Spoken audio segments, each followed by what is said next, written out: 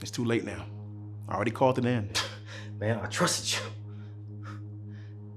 You lied to me. I needed your trust. It was the only way to get closer to your boss.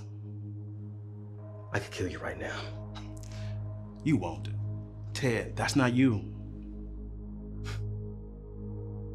Man, these people are my family, man. You know that. No, I'm your family.